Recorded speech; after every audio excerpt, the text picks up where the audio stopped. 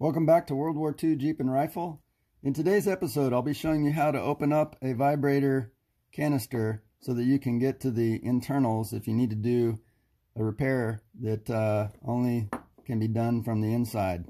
Uh, vibrators and many other vintage circuits were housed inside of a can and uh, in order to get in there you've got to uncrimp the uh, the bottom edge so that you can pull the guts out. Stay tuned and I'll show you how to do that.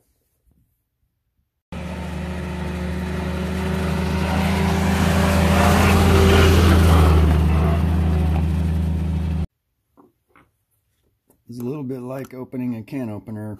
You, you just sort of get yourself a starting place by prying open the crimped ridge of the can and then you just work your way along it gently.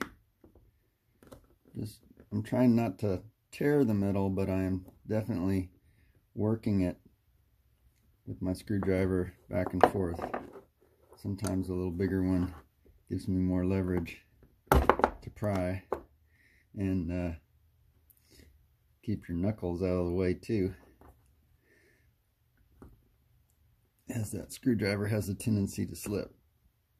So just work your way around this, this whole can, the edge of this can, gently prying the crimped edge open.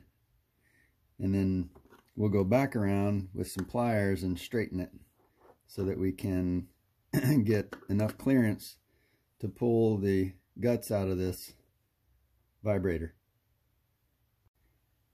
Now you can see I've started working my way around the rim of the can and as you can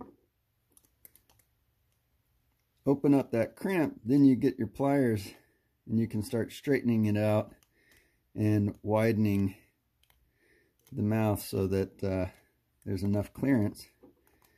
But once you've once you've gotten a, a start on it, it's a little bit easier on your knuckles, which if you're doing it like this, have a tendency to get in the way of the point of a screwdriver and I have skinned up some knuckles over the years. But uh, I like to get the can on the table where I'm using my screwdriver point to pry the lip of that open. Little bite at a time. But with the backdrop of uh, the table work table so that as my screwdriver slips, it, it goes into the wood instead of into my skin. And it also uh, provides a nice foundation for applying some force as you work your way around. It's just little, little bitty bite at a time of progress. And then rotate the can, take another bite. You do that all the way around until you can uh, uh, straighten out all the edges with your pliers. So when I get to that step, I'll turn the camera back on and we'll see what that looks like. That we'll try right here. I'm just applying some gentle pressure on the, one of the pins of the circuit. There we go.